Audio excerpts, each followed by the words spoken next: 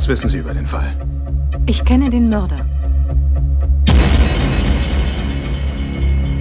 Daraus ergeben sich eine Reihe von Fragen. Wieso? Die Bullen kennen ihn auch. Die haben ihn geschnappt. Und? Und wieder laufen lassen. Warum?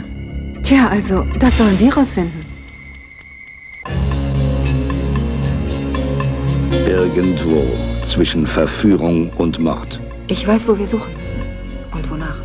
Warum sagt sie dir nicht, wer der Mörder ist? Sie hat Angst, das ist doch wohl verständlich.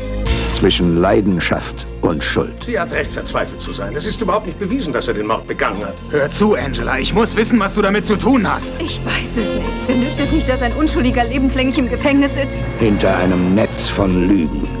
Die Frau, die diesen Unsinn erzählt, ist eine stadtbekannte Nutte. Du hältst dich für was Besseres, oder nicht?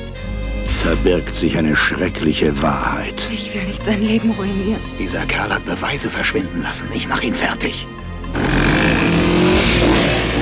Jerry wohnt nicht mehr hier. Welchen Jerry meinst du? Na, den, der Dr. Daniels umgelegt hat.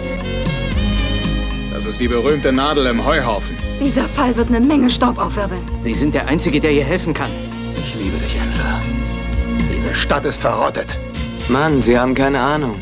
Glaub mir, du machst den größten Fehler deines Lebens. Ist es das wert?